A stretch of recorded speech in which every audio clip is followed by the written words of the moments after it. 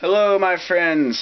Today I ain't gonna make a long video today. I just want to let you know how to tell if your radio has a bad power supply.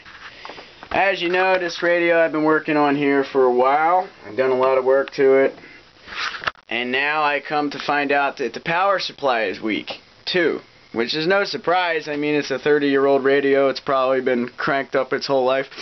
So I just want to show you how to tell if your power supply is bad without taking anything apart. I'm going to turn off this light.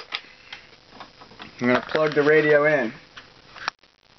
Now, as you see, there's a light right there, the power light.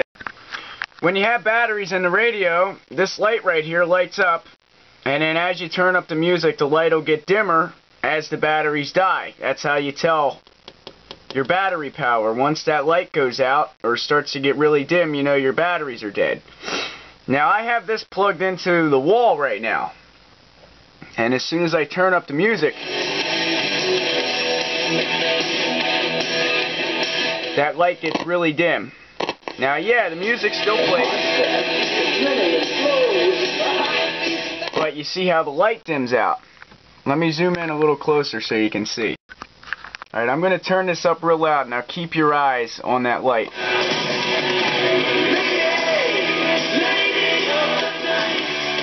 See that?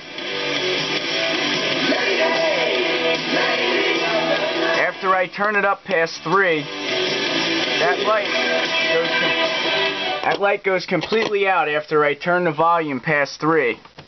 And as you can see, the volume on this radio goes all the way up to about well, no numbers, but once you turn it past there, 3 o'clock or 9 o'clock, whatever you want to call it, after you put it past there, the light goes out.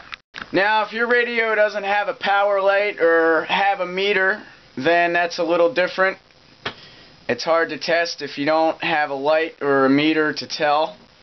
It's another reason why I don't like this new modern junk that they sell because they don't give you meters, they don't give you any extra uh, uh, plugs on the side. Data, you, basically you can't really work with the new stuff. That's why I don't like it. I like the old stuff that you can fiddle around with and it has meters and stuff. So if there's something wrong, you can diagnose it a lot easier.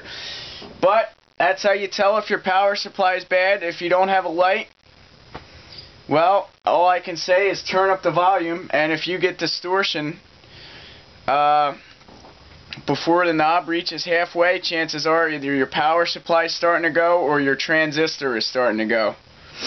But uh, yeah, that's how you test your power supply.